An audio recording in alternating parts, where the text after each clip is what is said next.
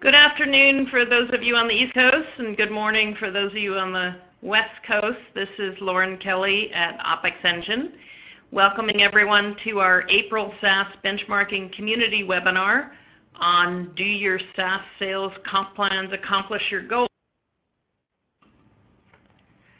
Just a quick um, housekeeping.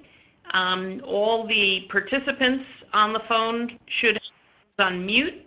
If you hear an echo, um, try dialing in on a landline and also make sure that the sound on your computer is turned off. You are welcome to uh, type in um, questions in chat. We'd love to hear what questions you have and what you're thinking about the presentation. And then at the end of the presentation, we are also going to turn on a little survey and ask for your feedback. And we're particularly interested in what topics you're interested in hearing um, about in upcoming monthly webinars. So with that, I would like to welcome our two panelists today, two members of the SaaS benchmarking community. We have Anthony Nitsos from Duo Security. Um, Anthony brings a wealth of experience not just in um, SaaS and software, but also from a variety of other industries to the discussion. And Michael Gonzales, who um, has been VP of Finance at Zenefits out on the West Coast and also previously at Facebook, um, and brings an, both a wealth of experience but also a, a, West Coast twist, if I can put it that way, um, of a uh, very cool new business that is well funded and trying to break new ground in a variety of uh, business model areas. And we'll hear from Michael also about um, trying to manage sales expenses and sales compensation. So with that, um, I'd also like to uh, for those of you on the phone who've been invited but are not yet members of the OPEX Engine SaaS benchmarking community, um, I'd love to invite you to find out more. Um, the SaaS benchmarking community is something that we run. It's a um, give to get, if you will, uh, benchmarking community just for software and SaaS finance professionals. Um, we have a data platform to benchmark your financial and operating metrics against, as well as biannual meetings, these monthly SaaS community webinars, a searchable knowledge base on SaaS metrics and SaaS Q&A. Um, and it's a paid membership, and, and you're welcome to find out more. Um, we, as I mentioned, we have a, um, a benchmarking data platform with over 60 different peer groups for uh, benchmarks.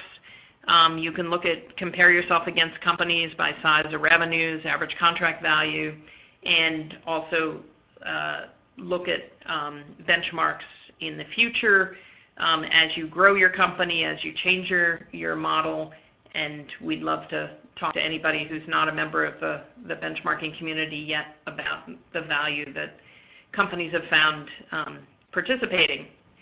So with that, I'd love to jump right into the discussion. And um, you know, the the SaaS um, the SaaS business model is, as we all know, different than selling traditional software. Where um, in traditional software, a salesperson's job is really somewhat over for the most part as soon as you make the first sale to a customer. You may need to, you may want to expand or upsell, but um, in the SaaS world, selling and bringing in a new customer is just the start of the relationship of the company with the customer. And typically, the whole company needs to support the idea that uh, the purpose of a customer or the value of a customer, I should say, is in their recurring revenue. And it has some um, effect on comp plans and um, you know how you manage that. And when you get into the nitty gritty details from a finance perspective, um, in terms of when how you pay out, how you measure it, um, and how you manage your sales organization for productivity and for efficiency.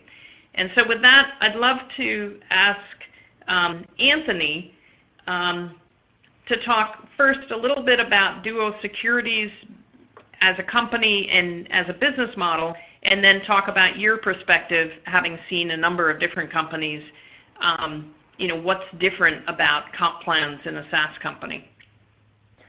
So uh, Duo Security is an internet security company, and we provide a, a, series of hosted services that either protect, you know, user credentials using a multi-factor platform, the applications that the users may be using, either you know their operating systems on their computers or on the phone, or particular apps they may be using to make sure that those are up to date and secure as well. So they are gated from accessing any systems if they're using buggy software or software with known security deficiencies.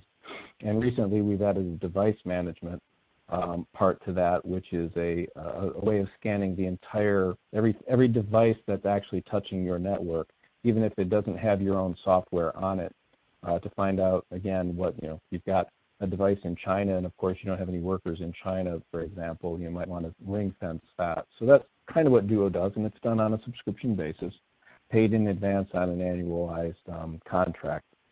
That's pretty much what Duo is about. In our in the world of SaaS, I come from manufacturing as well. Um, being based in the Midwest, it's hard to escape, you know, having being a finance person and not dealing with manufacturing contracts and sales and manufacturing are a lot of them are keyed to gross margin. Uh, they're keyed to long-term contracts. In the SaaS world, it's entirely based in our world in this particular company on the annual value of a contract that's sold. So it's a pretty straightforward model in that regard. Yep.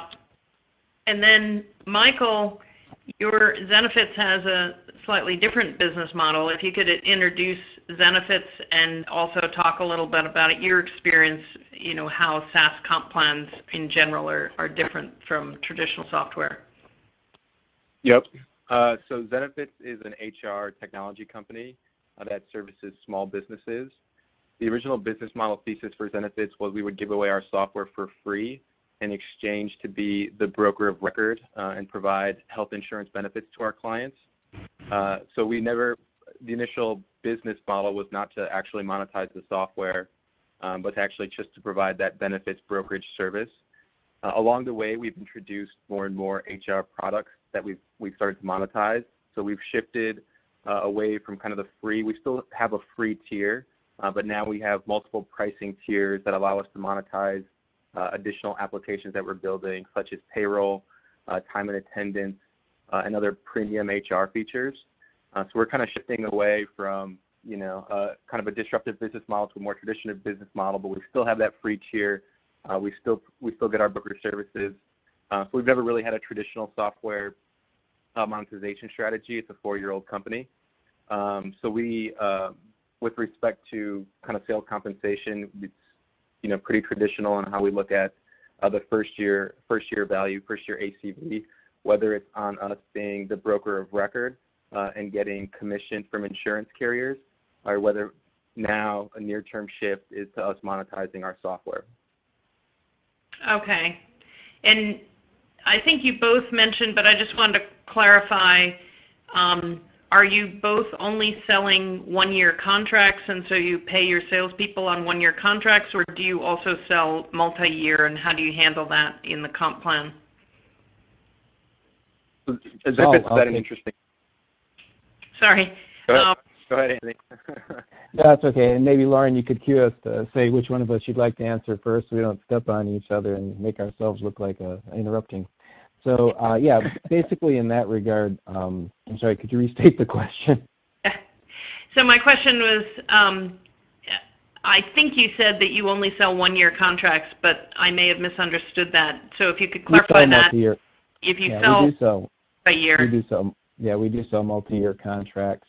Uh, the typical contract, I'd say 98% of our volume on a dollar basis is a single year contract. That's what most of our customers are comfortable in buying. We do on occasion sell multi-year contracts. They're usually of the flavor though where it's a multi-year contract that's billed annually. So in essence, it's just another flavor of an annual contract. Uh, we do, on very rare occasions, get customers who will pay for a multi-year contract upfront, but it is by far the corner case. It's not the common case.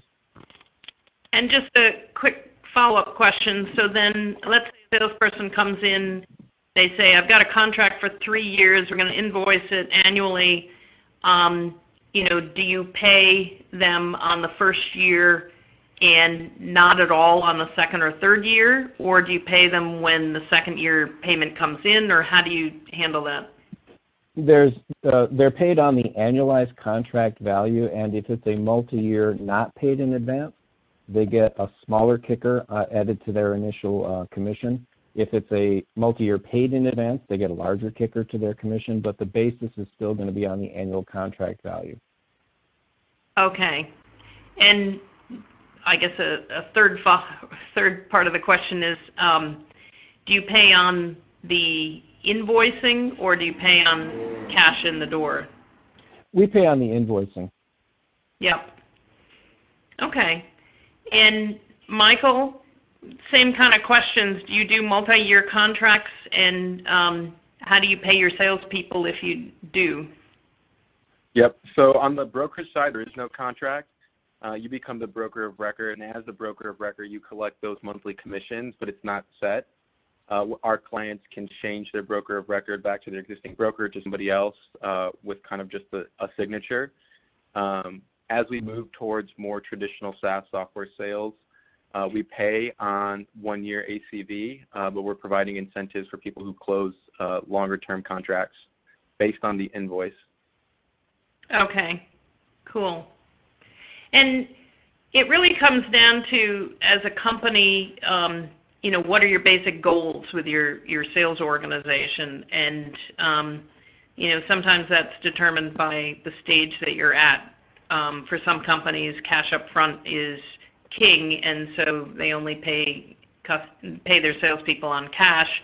Um, more established businesses you know, will pay on invoicing and, and leave the collection of the cash up to the finance organization.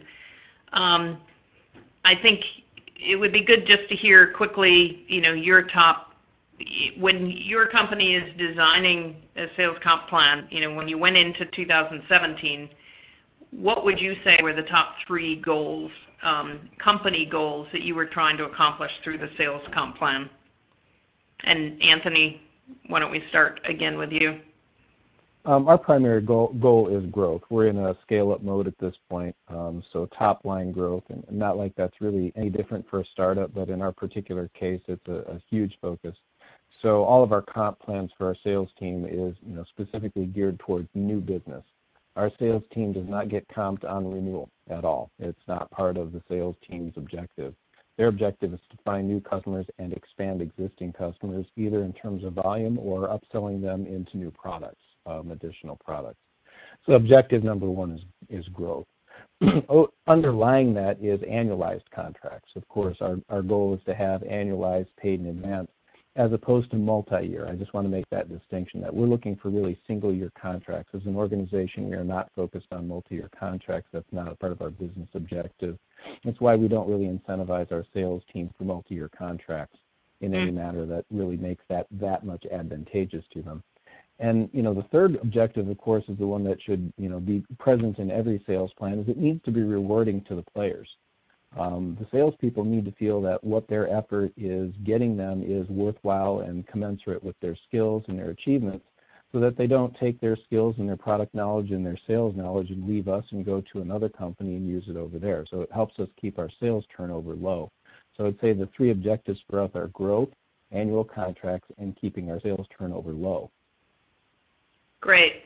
That's interesting. And Michael, from your perspective?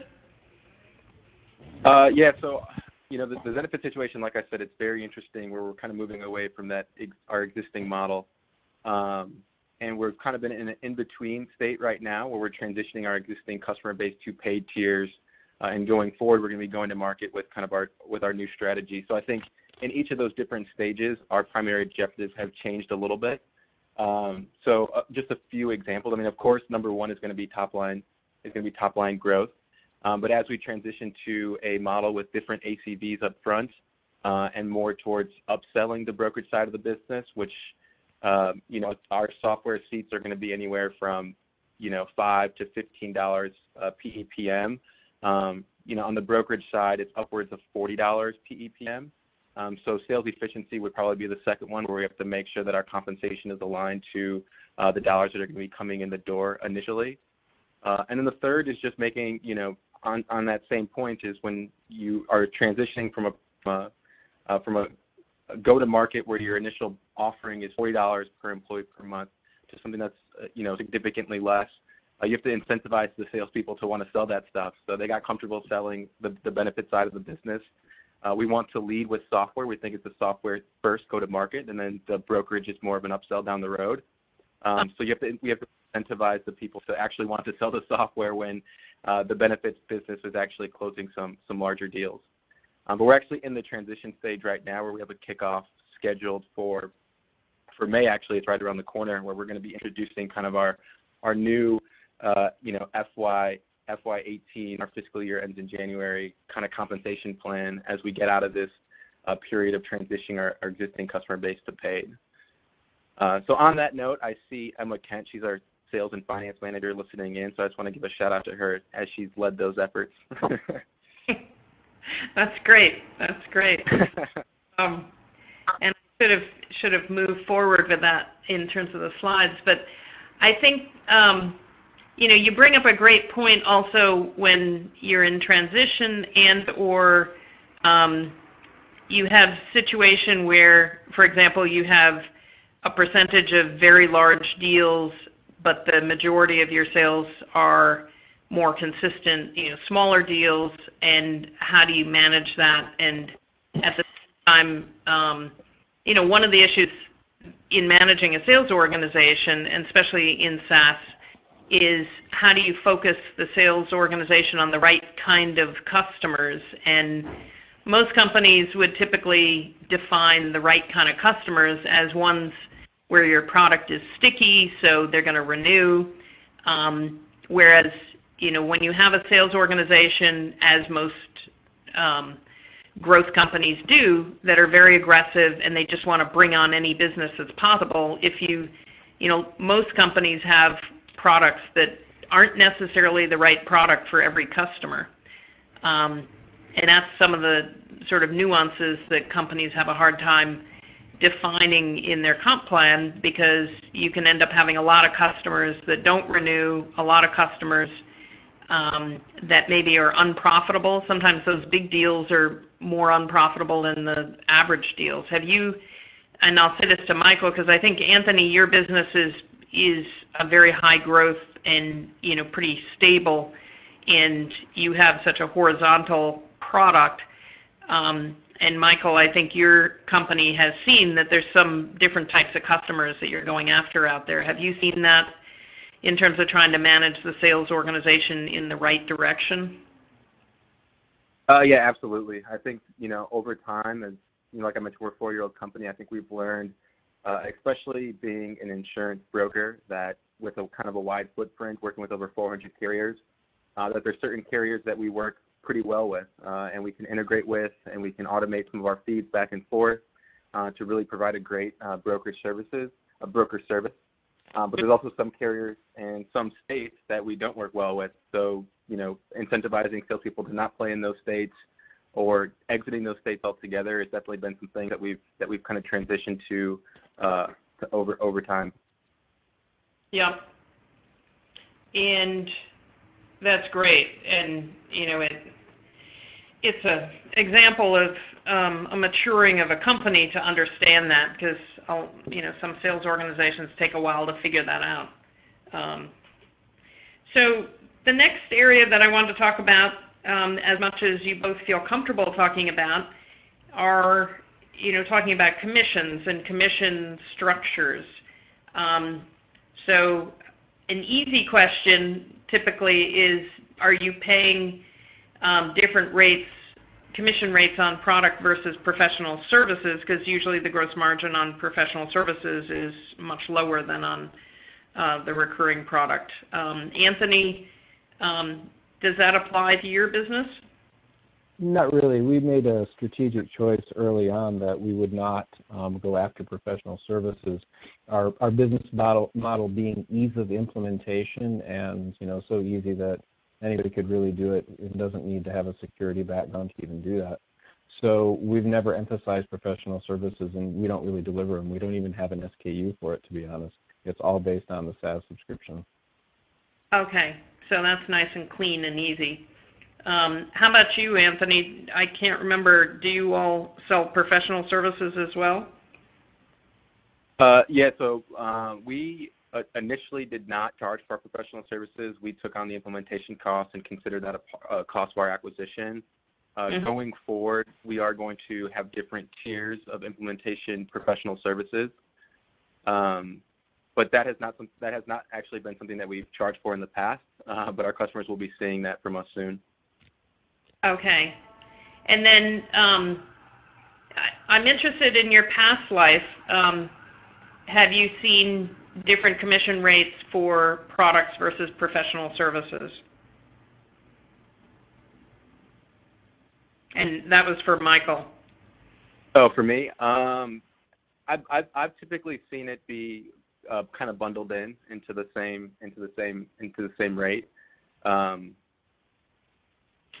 okay. But yeah, I, yep. So basically, paying on the total contract value, regardless of what it's made up of. That's right. Okay. Cool. And then, um, Anthony, um, you mentioned that your sales people do not sell renewals. So, do they sell both? You know, obviously they get paid on new customers. Do they also get paid on expansion to new customers? And if so, is there a limit to how long they can hold a customer to sell into them? No, um, there.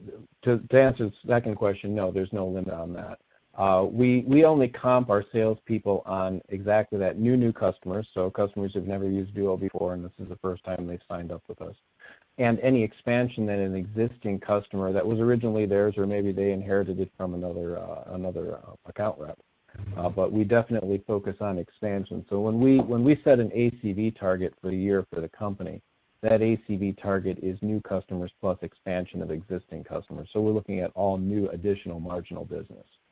Mhm. Okay. So you don't differentiate between new business and expansion business. No, not, not as far as the ACV plans are concerned. They have an ACV target.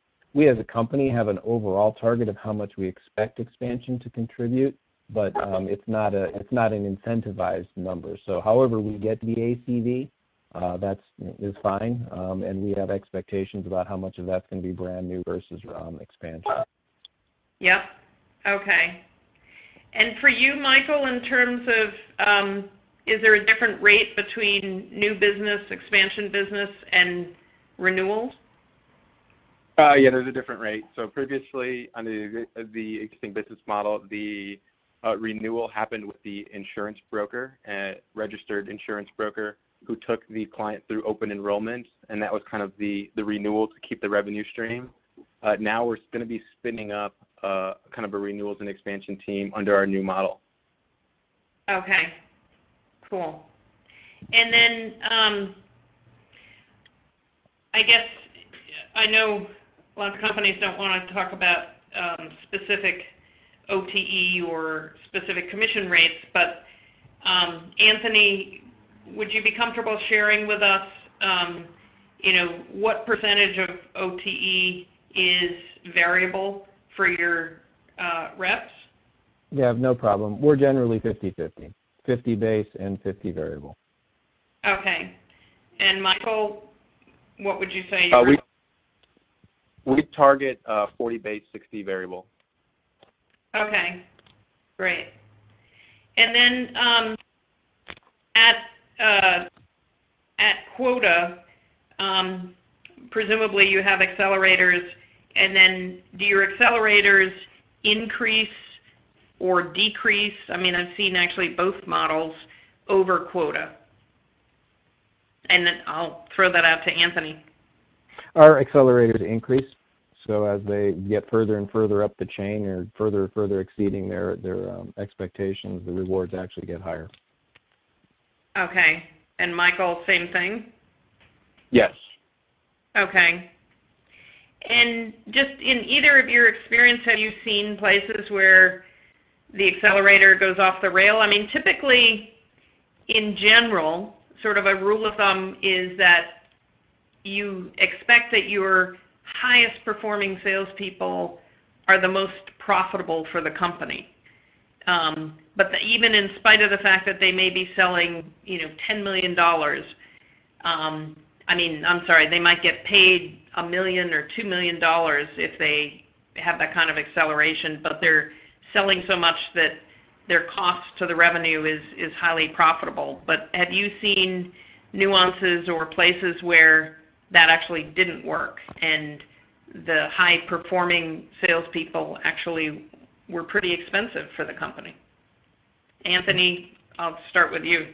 No, I haven't really. Um, I've seen certainly I've seen commission plans that have gone um, sideways. I was thinking of one more recently that uh, had happened, but not on the acceleration phase. Was on how it was structured. But uh, accelerators are are something that you know depends on what industry you're in. Uh, for example, I've never I never really saw an accelerator in the manufacturing base.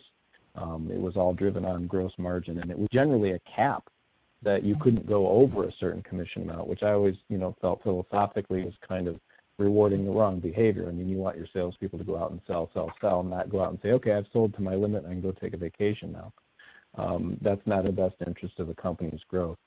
So I'm a big fan of accelerators and have all, and always have been, um, and have not really seen them go too far off the rails because once they're structured in a true accelerating manner, you get some pretty high performers. Yeah, they get paid a lot, but let's let's all face it: the highest comp people in the world tend to be the salespeople, um, and that's for good reason.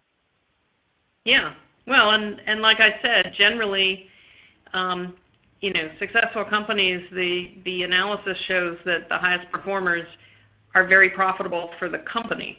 Um, I think it helps in our case because we're software and we don't really have. I mean, if you if you take a look at your typical gross margins for software, especially software as a subscription, the ongoing operating costs uh, to actually deliver the software once it's developed, and even if you roll in the amortization of the development, you know, typically it's not a, you know, a very large amount in terms of the cost of revenue. So you end up with really fat gross margins. And when you're dealing with a company such as Duo, where we have a fairly homogeneous uh, product mix, uh, we're not you know, we're not selling different gross margins, if you will, which in a product-based business, you could have wildly different, you know, gross margins, and maybe that would be the better way to comp. In our case, because we have, you know, basically one gross margin, if they sell a lot or a little, it's all the same gross margin. It's all the same free cash flow to the operating expenses as you know any other particular product. So it makes it easier for us to structure accelerators that way. Because again, administratively, we don't have to worry about differentiation on gross margin based on what product they actually sold. Yeah. No, that's interesting. And Michael, do you is that true for your company? Uh, I um, with, respect to accelerators kind of going a little bit sideways. I mean, I've I haven't seen it. Um, I've seen you know sizing of quotas be a little bit low, and that's essentially the same thing uh, as we kind of transition and learn about the business. But early stage, I before I was at Zenefits, I know that there was some um, you know people making a lot of money on kind of the early stages. I've also advised a few other startups in the area that year one, year two, as you're figuring out how you want to pay folks, figuring out what your deal size should be uh, not really having a, a good understanding of kind of your funnel and your pipeline. Uh, that you know people at kind of these early stage companies that are still learning uh, end up having a couple months where they might over overpay some folks. Yeah. Cool. I'm just looking at. We've got a whole bunch of um, questions that have come in, um, and one of the things maybe I'll uh, go back and, and clarify. I think, Anthony, you said that your salespeople don't um, do renewals. Um, it doesn't mean that you don't have people working on that and that they're not um, compensated and incented to to renew um, customers, right? Yes and no. Uh, we have an entire customer success team uh, that uh, that does nothing but manage the renewals process. That's their entire focus. So they're in there and trying, you know, making sure that at least the, the base contract, what we call the protected ACV, is continued going forward. Um, and their their departmental objectives are based on uh, the what we call the churn and contraction rate. So if we churn, we lose a customer. Contract if they go down in, in some sort of subscription manner, but they still remain a customer. But because that is departmental specific to them. Again, I go back to everybody outside of the sales organization is, you know, their their incentive pay, the variable component of everybody outside of sales is, is targeted towards the annualized run rate, the ARR. So, and part of that is keeping customers. A big part of that is keeping your, you know, protecting your customer base. So by focusing the non-sales part of the organization on the renewals and on the base ARR and keeping that intact, and letting sales go out and expand towards the new horizons and the new businesses, we think we've got a pretty effective model. Yeah. No, and I, I think it also depends on the, the you know, the product and your your mm-hmm. churn rates and the stickiness of the product. Um, one one question that came in is whether you claw back for churn and I guess I would throw out there that I haven't heard of companies doing that, or at least I haven't frequently heard of it. I mean, there's all sorts of stuff out there in comp plans. Um, when you have an annual contract, it might be something that you would try and manage for when you're selling monthly. Um, but Anthony, have you seen clawbacks for churn? No, we don't do that. And have you seen that? Yeah, uh, yeah. This is Michael. Yeah, we we were doing a 90-day clawback uh, when we were doing uh, on, on the existing business model when we didn't have contracts. Okay. Yeah. I mean, it really depends on whether. I think it depends on the product and the contract that you're selling because if, um, you know, if uh, customers can't if they've paid up front, the salesperson's done their done their job, um, and yeah. then it depends on your product and the customer satisfaction. Yeah, I think Duo has yes. a couple of unique aspects to its business model that allows us to decouple that um, churn contraction from any clawback. The only time we've ever done a clawback is if we've invoiced a customer and 90 to 120 days later, they still haven't paid their invoice, and we get a BK notice or we get some sort of termination of the contract. And you know, we're not going to fight our customers on that. You know, if they really don't want the product, we're not going to force it on them and go into a collections mode. At that point, and it's kind of on a case by case basis because it's so rare we may do a clawback to the initial salesperson, you know, for that contract, and and they would be involved in trying to retain the customers. So we would get make sure that they were, you know, involved to try and keep that in place. But again, it's a fairly fairly corner case, very uh, a fairly limited corner case. Yeah. Okay. Cool. And then there's another question about looking at do you look at accelerators by month or year to date? And um, do you have any comments on that, Anthony? Ours are all annual. We had quarterly at some point, but again, we realized that, you know, back to uh, Michael's point, setting your quotas is a really, you know, very important aspect. You know, that's if your accelerators are going to go wrong, that, that probably should have been the obvious case to, to state up front is you set your, your quotas too low and your accelerators kick in at, at a much earlier when they should have. So we set all of our annual, all of ours now to an annual um, accelerator. So the big payoffs are at the end of the year. Yep. Anthony, any comments on that? Yeah, this is Michael. We were we Sorry, previously did accelerators on a monthly basis, and now we're moving towards quarterly. Okay.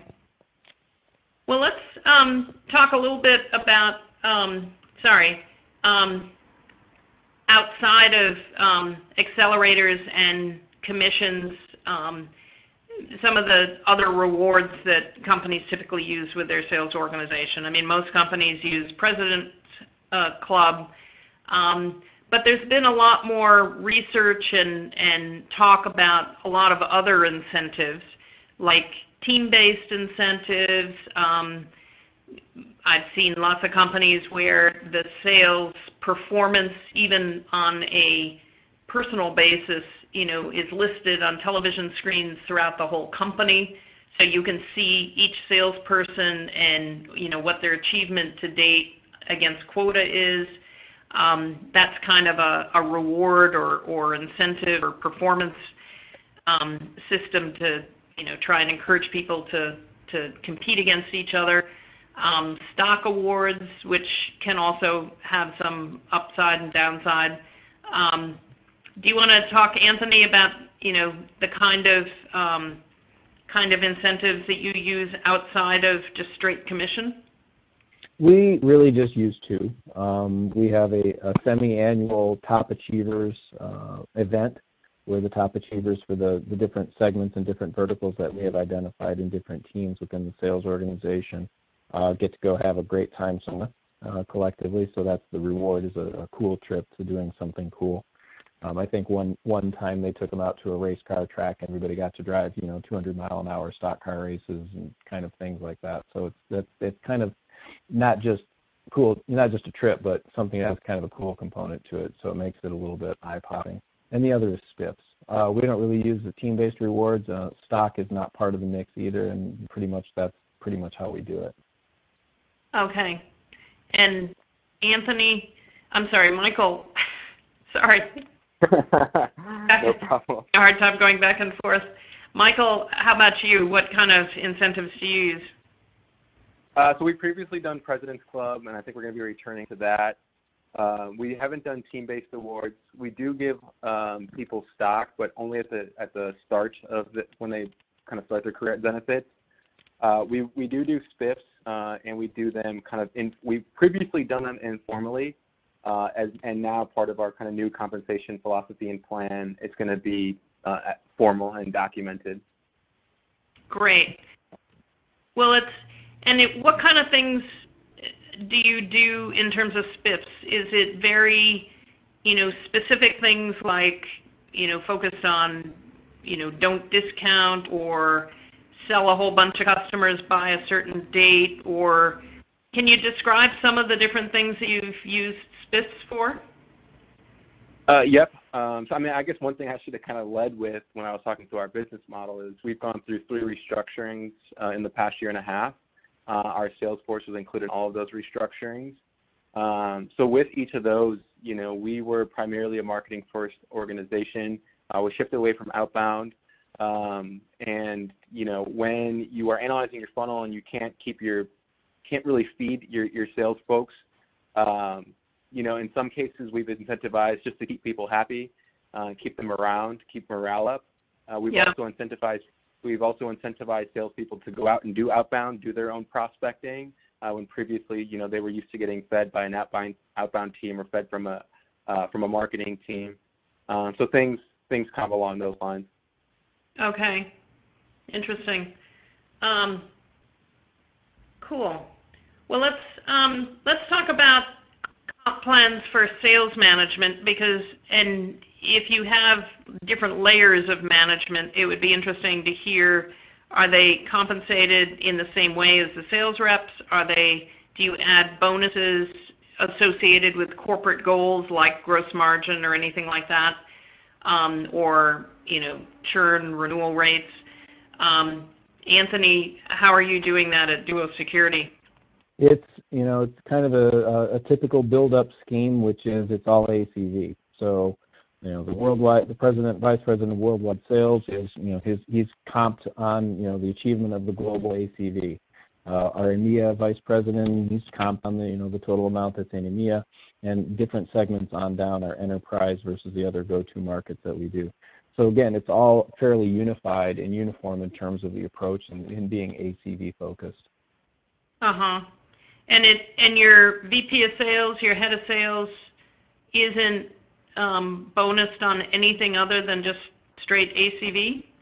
It is new business.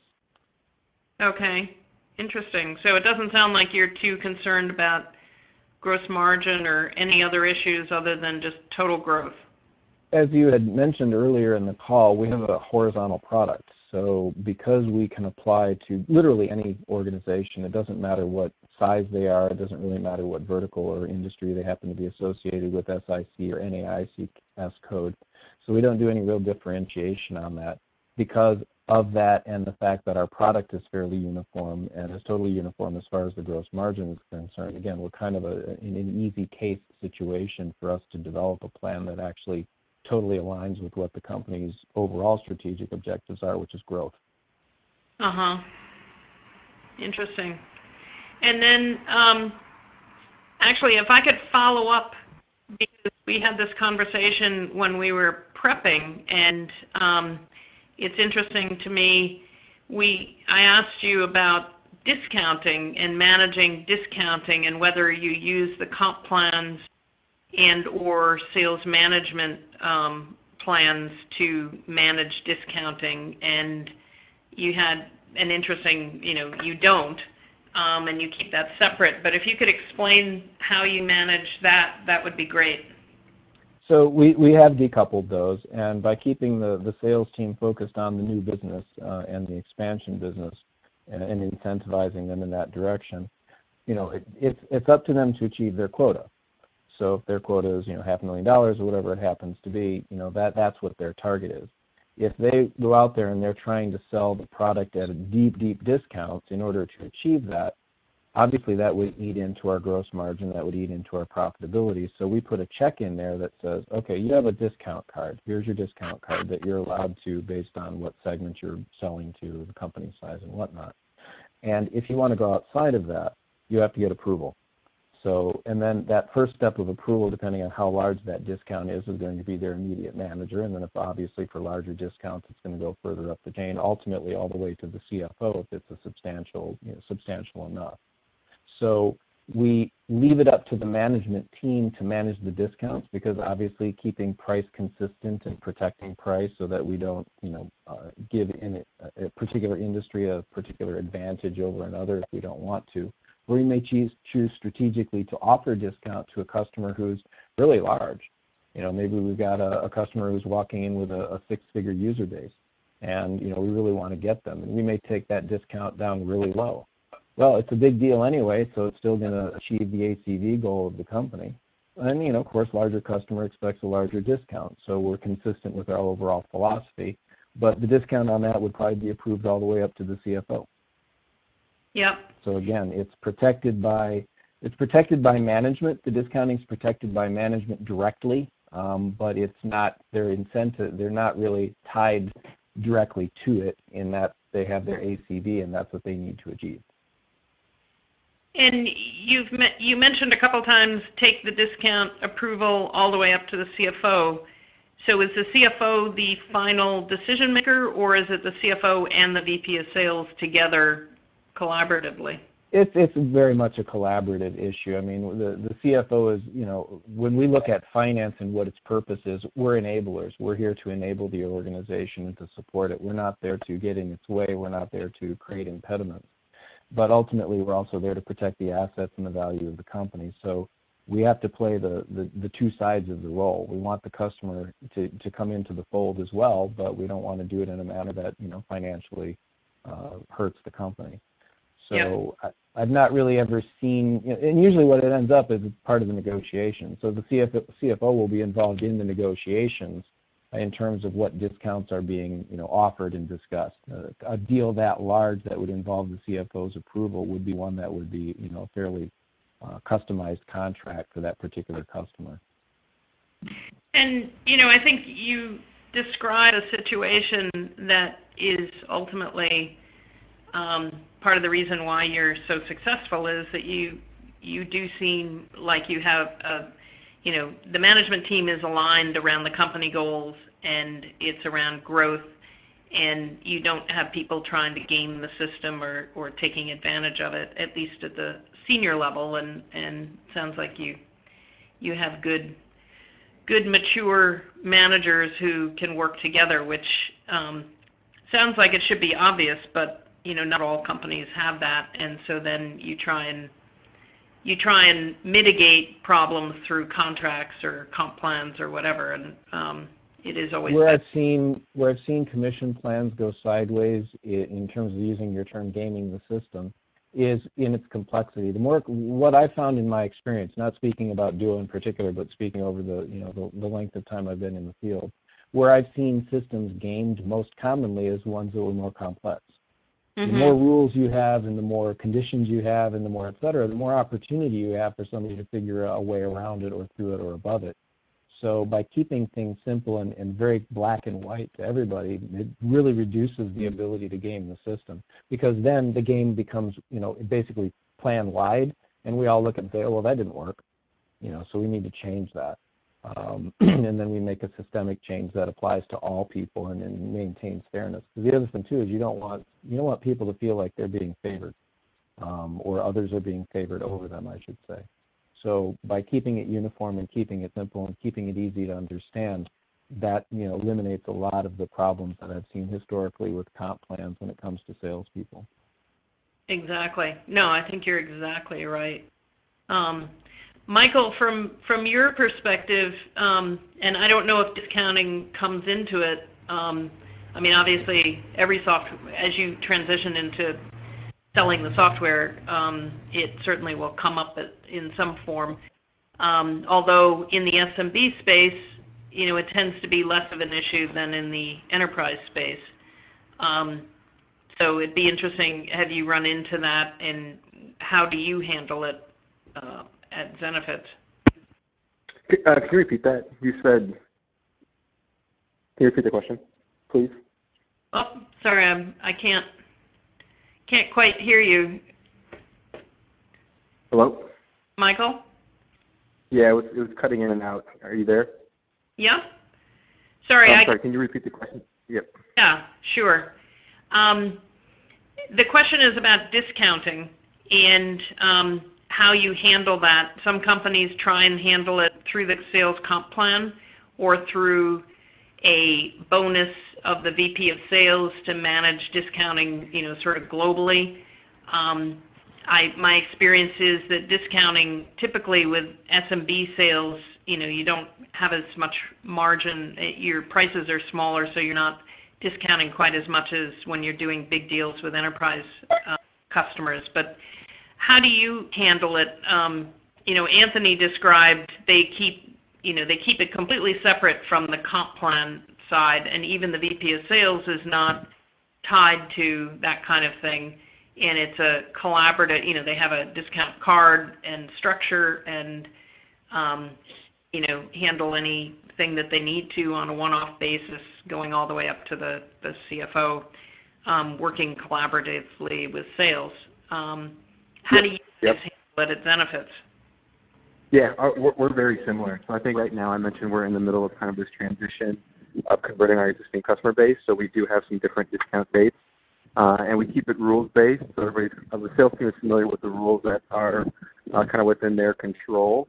Uh, and then anything outside of that, it's an exception case, is, is escalate up to the VP of sales and to the VP of finance uh, for, for mutual improvement. Uh, in terms of compensation, uh, our VP of sales is also just tied to just tied to growth. Okay.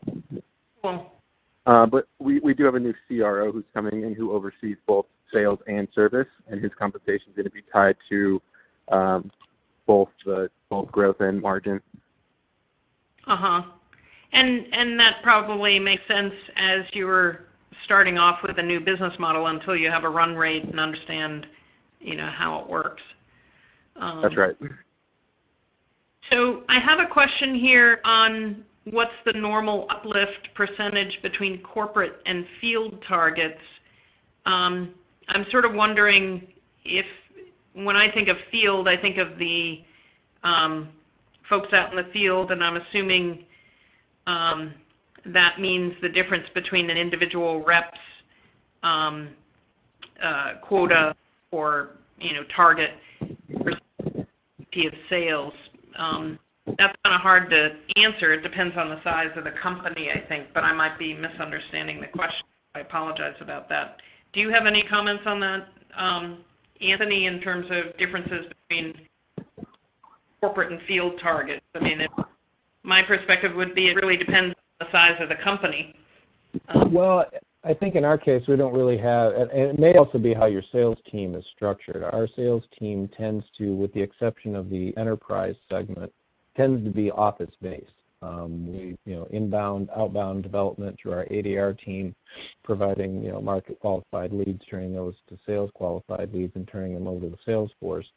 So our sales, there, the, there's one specific part of our team that is responsible for handling the inbound and the outbound uh, leads and then those are farmed out obviously to the various reps to follow up and, and close the deals. So there aren't really people in the field.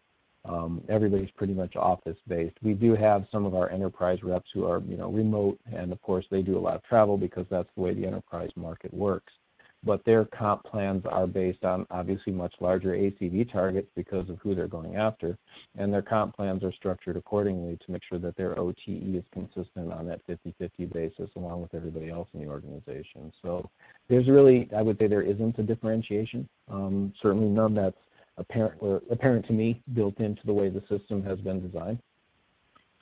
Yeah, let me take a different take on the question in a way. So some traditional sort of sales planning structures are, you know, let's say you have each, just to make it simple, each rep has a quota of a million dollars.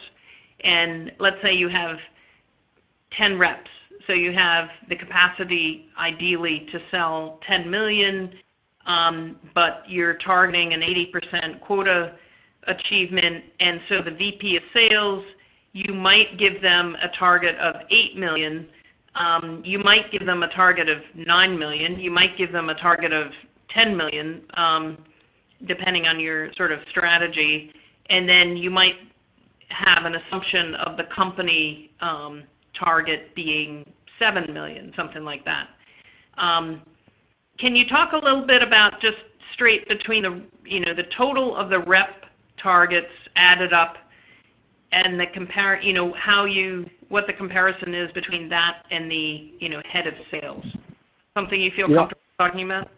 I, I can't really speak to that, unfortunately. Um, that would be getting probably a little bit too detailed, and also I'm not, to be honest, that familiar with how we do that. Um, I'm familiar with the overall ACV targets, for the, the reps, but um, if you give me a few minutes, I'll take a look at my spreadsheet and see if, if there's any of that kind of discounting roll up, it sounds like. Um, so if you know, the individual members of my team each are tasked with a million, um, and I have 10 members, is, is my quota 10 million or is my quota less than that? Um, I can probably answer that. I just need to take a look at a specific example. So if you give me a few minutes, I'll take a look at that and give you an answer. Yeah, that'd be great. And Michael, you, yeah, that, you, that is how we that is how we do it. So we do a we do a traditional roll up strategy, uh, and I think generally uh, you you target you know what you want your individual individual reps what that percentage to hit is. Uh, we target in the 70 to 80 percent range, uh, yeah. and then we give uh, the management on that roll up an 80 percent of that of that total. Okay, and is that true? I guess it depends on the size of your sales organization because you may have a head of sales and you may have managers and that kind of thing. Um, and sometimes you have different. So it, it, it, it yeah, it, it cascades up to every single every single level. We try to keep it to two tiers. Okay, cool.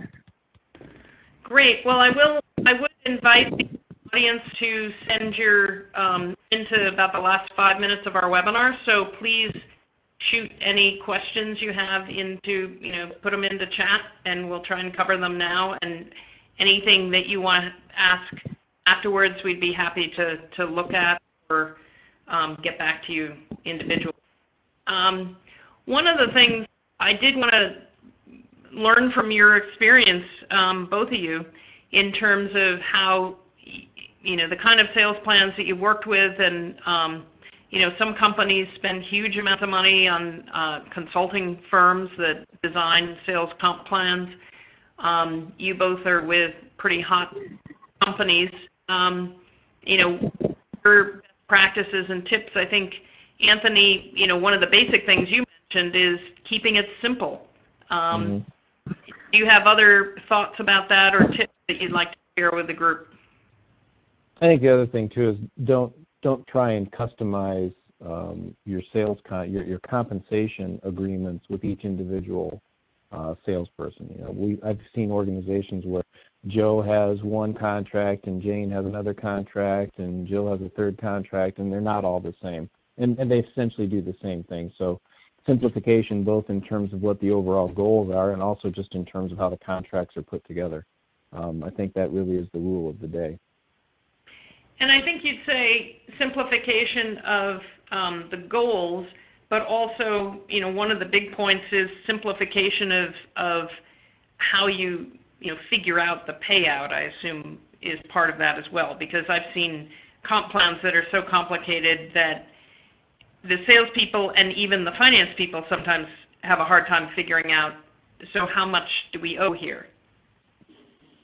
Yeah, so we have a we we we've gone through that phase. Uh, definitely, when I first came on board a couple of couple three years ago, it was like, so how did you structure this spreadsheet?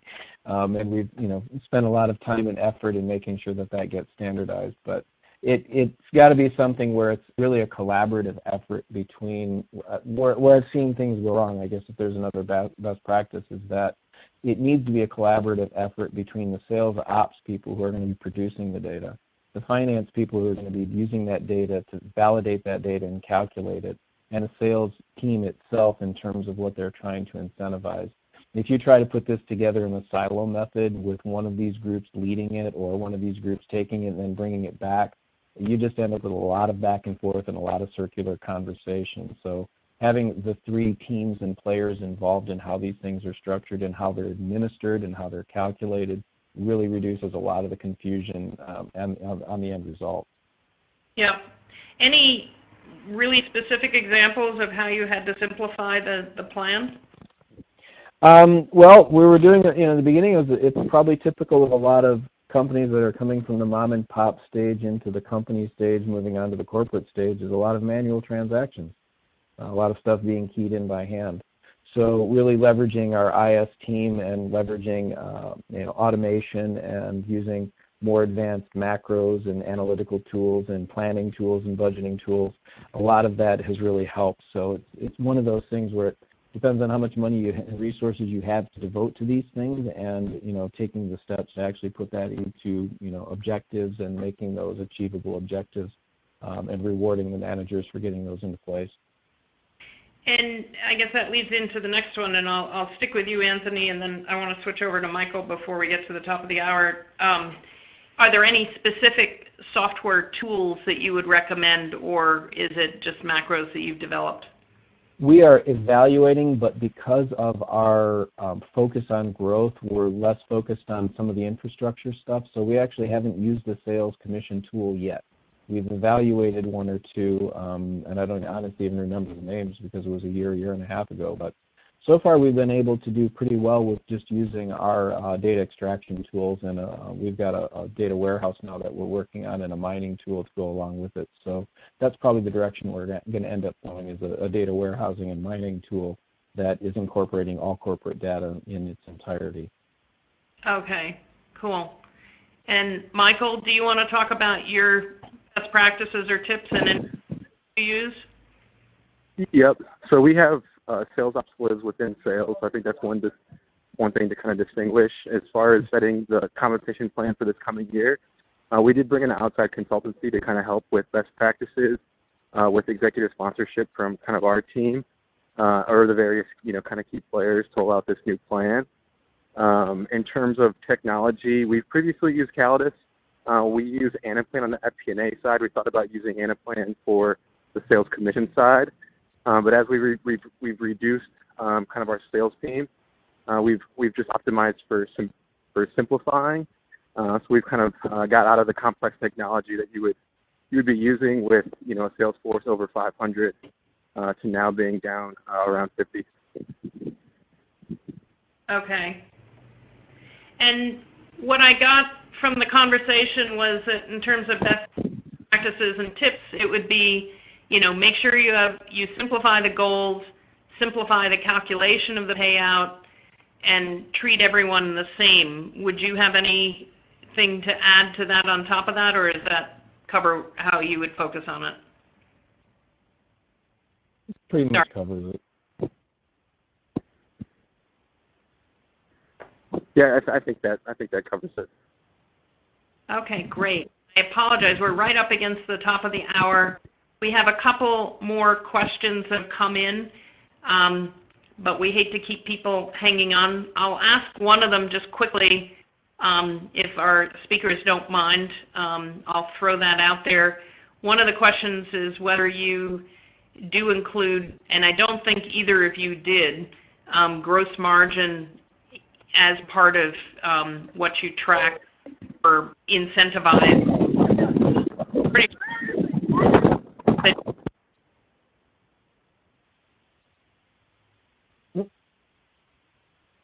I think we're losing people maybe. So I'm gonna I'm gonna wrap things up.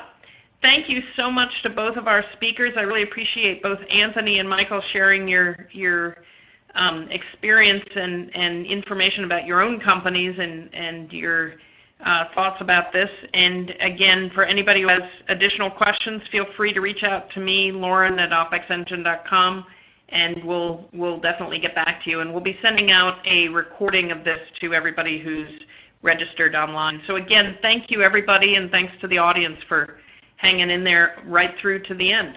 Thanks very much. Bye.